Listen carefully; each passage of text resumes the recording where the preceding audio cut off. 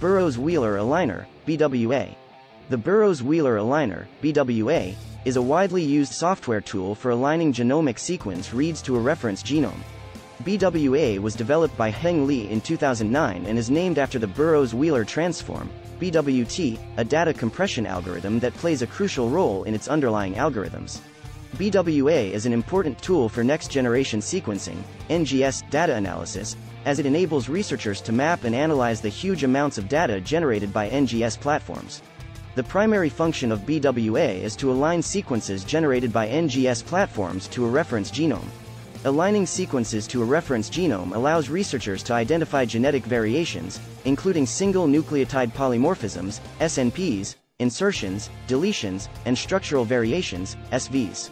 BWA uses two different algorithms for aligning NGS reads to a reference genome. The BWA backtrack algorithm for short reads and the BWA SW algorithm for longer reads.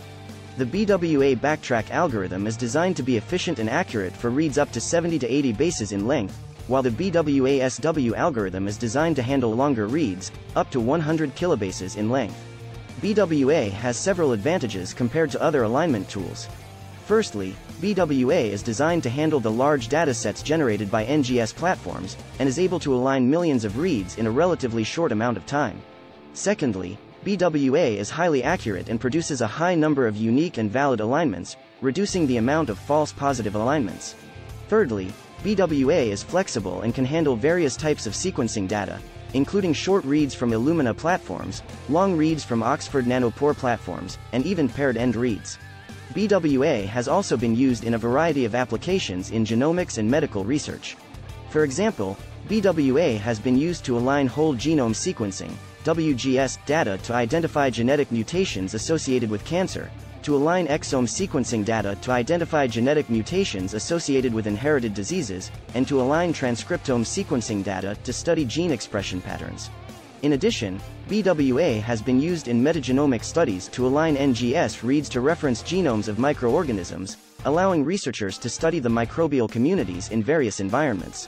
In conclusion, the Burrows-Wheeler Aligner, BWA, is a widely used tool for aligning NGS reads to a reference genome. BWA has several advantages over other alignment tools, including its ability to handle large datasets, high accuracy, and flexibility. BWA has been used in a variety of applications in genomics and medical research, and has been instrumental in the analysis of NGS data in the past decade. BWA remains an important tool for NGS data analysis, and its continued development will likely play a key role in advancing our understanding of the human genome and the genomes of other organisms. Thanks for watching this video.